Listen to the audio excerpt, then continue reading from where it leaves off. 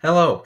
So they claim Minnesota claimed De'Angelo Henderson today. He is a running back. He was drafted in the sixth round by the Denver Broncos back in 2017, and he was signed to the practice squad of the Jets in 2018. So that means he has experience with both Rick Dennison and Gary Kubiak. Not bad so far. Now, for those who don't know about De'Angelo Henderson at all, what I do know is like I have a little player blurb for those who are interested, of course. But he isn't the biggest back. He's only five foot seven, 208 pounds. But he does kind of have a compact body build to him, so he does generate some power. And he is a decisive runner. So the fact that we are now running this zone running scheme is kind of a benefit to him as he kind of fits that a little bit more. And he could be someone who could potentially compete for third downs, I would say, as he does have some decent pass catching skills and at least has the willingness to block. So there is that. He does have some giddy up as well, um, running a 4.4840 back at the combine, which isn't bad. And obviously, this comes at the expense of uh, Roc Thomas in a way, but they also uh, waived safety today.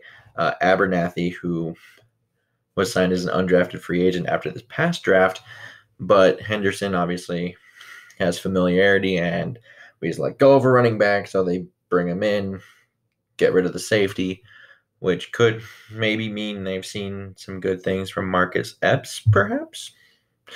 But he does face some of the same issues Roc Thomas did just in general, because now he kind of has the same uphill climb that Roc Thomas did, which is the crowded backfield, which is Minnesota's backfield right now.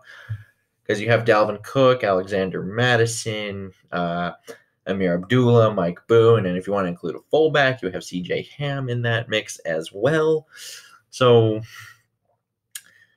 and I could see them maybe keeping four backs at most just because Dalvin's um, availability, or I guess inavailability, if you want to look at it that way, because he hasn't been able to stay on the field. You could look at maybe they want some extra backs on the roster just in case, because he hasn't proven that he can't, you know, stay healthy.